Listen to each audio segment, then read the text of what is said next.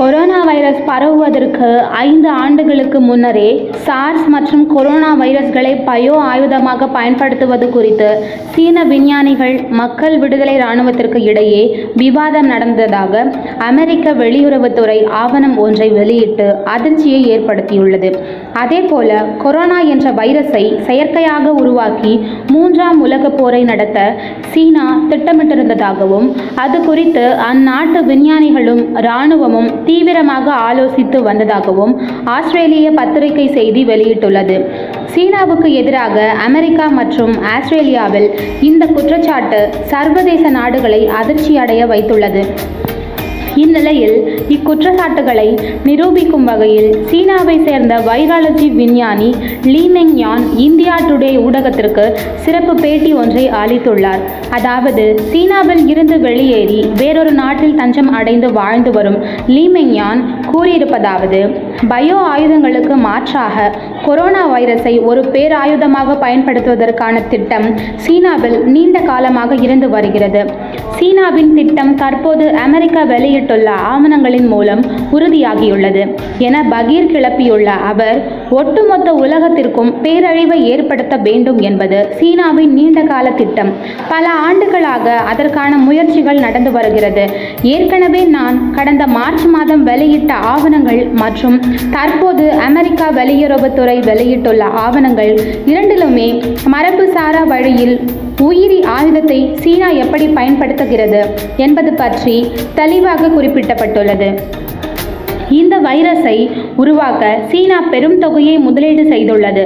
சீன மக்கள் இராணுவ படை ஆய்வகத்தின் மூலம் இந்த வைரஸ் பரவவிடப்பட்டுள்ளது என்பதை கடந்த ஜனவரி மாதம் நான் யூடியூப் மூலம் தெரிவித்தேன். இந்த வைரஸ் உருவாக்கப்பட்டதன் நோக்கம் ஒட்டுமொத்த சர்வதேச நாடுகளில் மருத்துவ கட்டமைப்பை சீர்குலைக்க வேண்டும். அதனால் அந்நாட்டின் பொருளாதாரம் சீர்குலைக்க வேண்டும் என்பதுதான். மனிதர்களை தாக்கும் வைரஸ் செயற்கையாக உருவாக்க வேண்டும் என்ற தனது நீண்ட நாள் திட்டத்தில் தற்போது சீனா வெற்றி பெற்றுள்ளது. இதை ஆரம்பத்தில் உஹான் நகரத்தில் இருந்து சோதித்து பார்த்தது.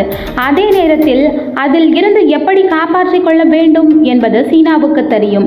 இந்த பயோ ஆயுதம் அதிகம் பேரை உயிரிழக்க செய்யாது. ஆனால் உஹானில் பயன்படுத்தப்பட்ட போது அது கடுமையாக பாதிக்கப்பட்டது. அதை அனைவரும் கண்கூடே பார்த்தோம். ஆரம்பத்தில் தடுமாறுவது போல் நடித்து பின்னர் அதிரடியாக அந்த நகரத்தை சீனா மீட்டது. ஆனால் இப்போது அது பிற நாடுகளில் மிக வேகமாக பரவி கொடூரமாக பாதிப்பை ஏற்படுத்தி வருகிறது. அதை இப்போது சீனா வேடிக்கை பார்க்கிறது. அதே போல இந்த வைரஸை பரப்புவதற்கு முன்பாகவே சீனா சர்வதேச அரங்கில் இதற்கான கேள்விகள் எழும்போது அதை எப்படி எதிர்கொள்ள வேண்டும் அதற்கு என்ன பதில் கூற வேண்டும் என அனைத்தையும் முன் தயாரிப்புடன் கையாண்டு வருவதாக கூறியுள்ளார்.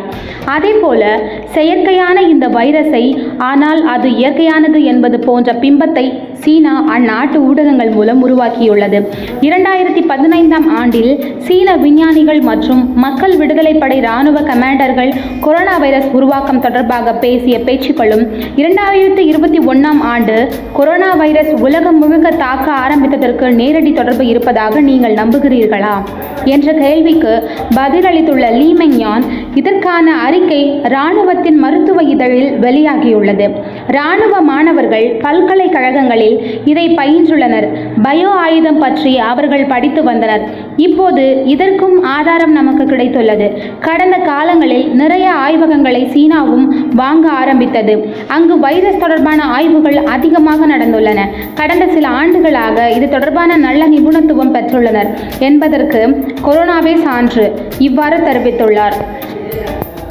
மேலும் இது போன்ற நிறைய சுவாரஸ்ய தகவல்களை தெரிந்து கொள்ள எங்களது யூடியூப் சேனலை சப்ஸ்கிரைப் பண்ணுங்கள் நன்றி.